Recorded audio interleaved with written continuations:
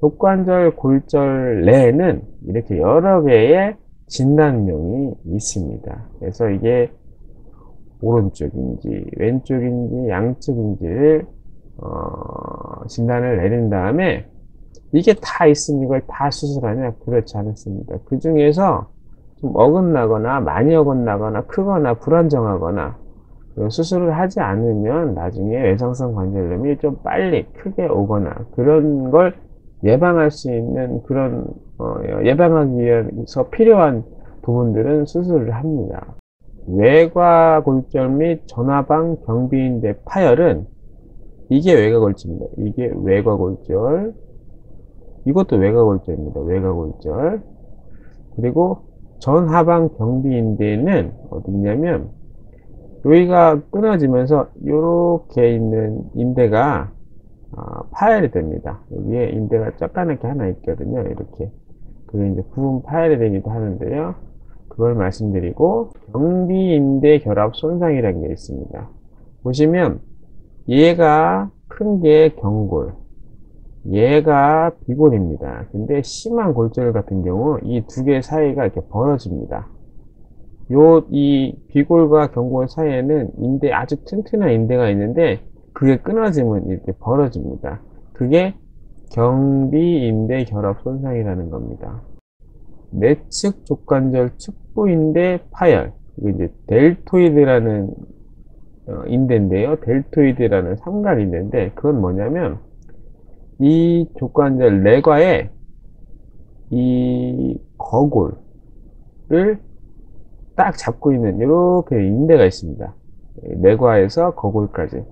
그런데 경비인대 파열돼서 얘가 벌어지면 여기도 이렇게 벌어집니다. 많이. 여기서부터 요만큼 있, 던 인대가 완전히 파열돼서 이게 벌어진 거죠. 이렇게 탈구가 되는 경우도 내측 측부인대가 완전히 파열된 경우입니다. 이런 내측 족관절 측부인대 파열이라는 진단도 있습니다. 진단은 되었더라도 진단된 골절을 모두 수술해야 하는 것은 아닙니다. 수술을 하는 부위도 있고 수술을 하지 않는 부위도 있습니다. 그리고 즉 손상된 부위 모두를 반드시 수술해야 되는 건 아니고요. 그리고 부종이나 수포, 물집이라고 하죠. 부종이나 수포가 심하거나 조절이 안 되는 지병이 있을 경우에는 수술은 당연히 연기되게 됩니다. 부종도 가라앉고 수포도 어, 없어지고 그리고 당뇨나 혈압이나 심, 심장 관련 질환이나 등등의 어느 정도 조절이 될 때까지 조절을 한 다음에 수술을 하는 겁니다.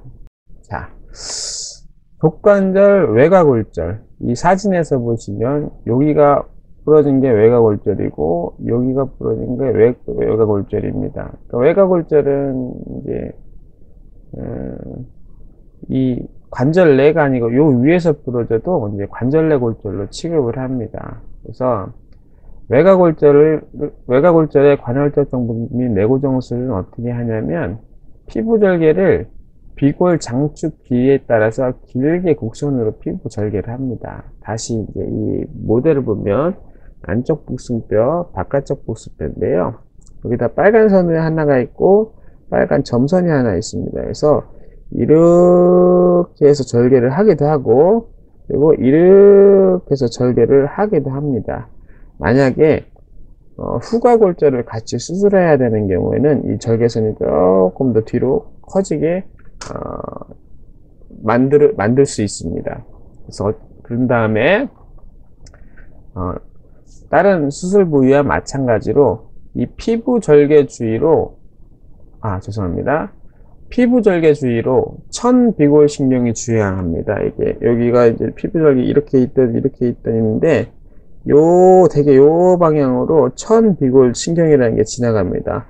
발등의 감각을 어, 담당하는 신경인데요. 이게 주행하는데 이 신경을 주의해서 어, 절개를 하고 수술을 합니다. 그럼에도 불구하고 이 절개한 부위에 흉터는 남고 절개 주위의 감각 이상과 감각 저하는 마찬가지로 어느 정도 남게 됩니다. 모든 피부 창상 주위로는 어, 감각 이상과 어, 감각 저하가 남게 됩니다.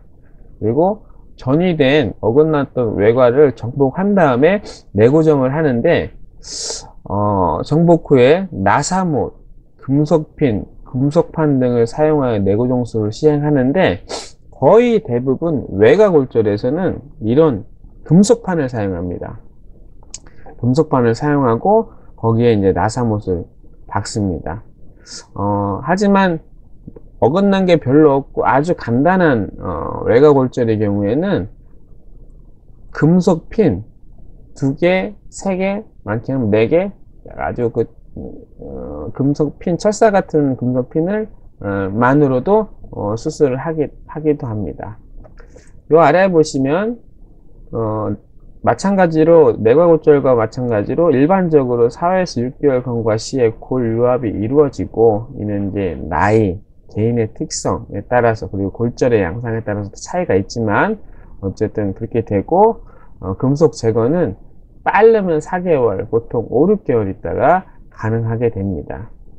그리고 어, 외곽골절 시에 주로 전하방 경비인데 파열이 부분적으로나 또는 완전 파열이 같이 일어나는데 이 부분에 봉합도 함께 하게 됩니다. 거기가 어디에 있냐면 이 사진을 보시면 여기에서 이렇게 인대가 있습니다. 이렇게 거기도 어, 완전 파열이 있거나 그러면 어, 봉합하기도 합니다. 전화방 경비인대 봉합 후에도 족관절 불안정성이 의심될 경우에는 경비가 나사모 또는 금속핀 내구정을 추가할 수 있습니다. 인대를 여기서 이렇게 봉합을 했는데 이 뼈와 비골과 경고 사이가 계속 끈적끈적하고 좀 불안정하다. 그럼 핀을 이렇게 해서 이렇게 해서 한 아, 두세 개 정도 어, 추가로 박을 수가 있습니다. 여기까지가 어, 외곽골절의 관할적 정복 및 내고정술에 대한 방법입니다. 다음은 경, 경비인대 손상의 정복 및 내고정술입니다. 어, 경비인대 손상이라는 건 얘가 어, 경골이고 얘가 비골인데 이 경골과 비골이 벌어지는 겁니다. 이렇게. 요 사이에 인대가 끊어져서 이렇게 벌어지는 겁니다. 그러면 관절이 벌어지거든요. 그럼 얘가 덜렁덜렁덜렁해서 나중에 관절염이 옵니다. 외상성 관절염이. 그래서 경비인대 손상은 반드시 잘 맞춰줘야 됩니다.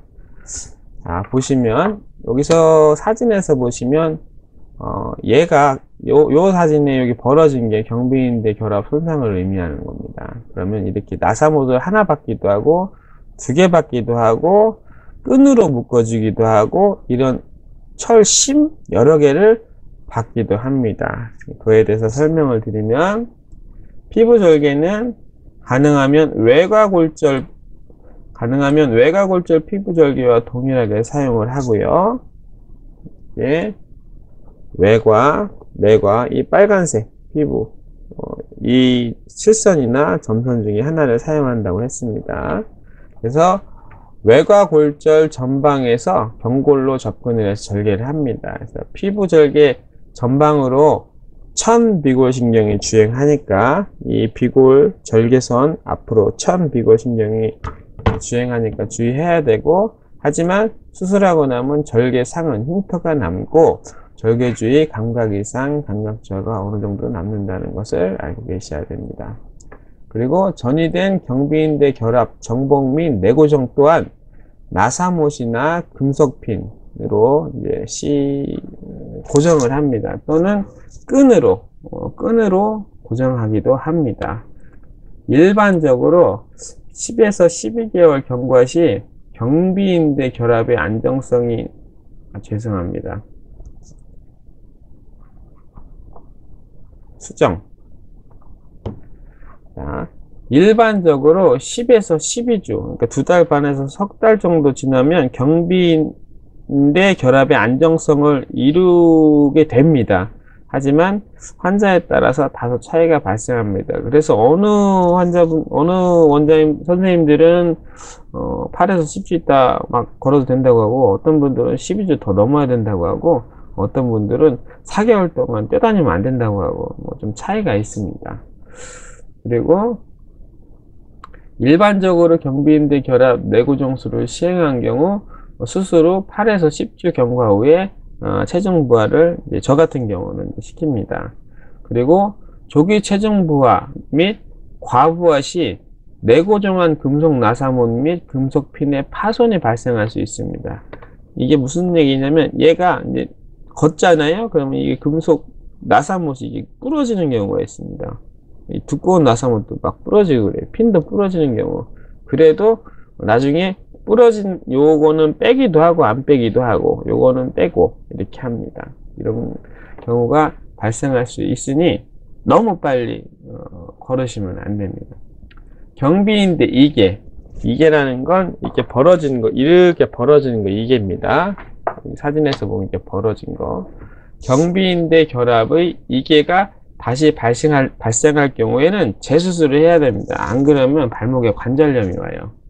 또 경비인대 이게는 추후 족관절 외상성 관절염을 유발하기 때문에 수술 자체뿐만 아니라 수술 후 관리가 매우 중요합니다. 그래서 조기 체중 부하를 하면 안 되고 최소 8주 이상 경과 후에 부분 체중 부하, 조금씩 체중을 싣는 거 이것을 해야 합니다.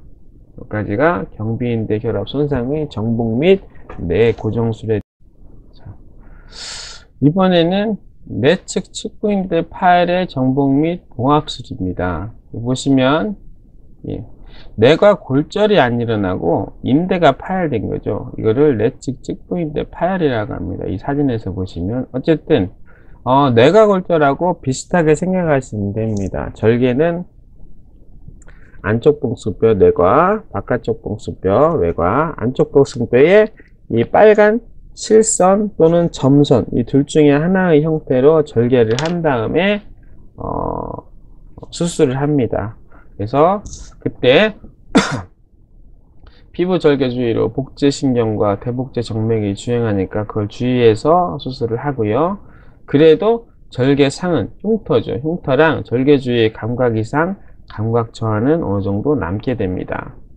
그리고 부분 전이된 족관절을 정복을 하고 그러니까 얘가 벌어지지 않게 맞춘 다음에 내측 측부인대에 봉합술을 합니다. 이때 봉합사 실이나 앵커라고 하는 실이 달린 나사못이 있습니다. 이거를 이용해서 봉합을 합니다.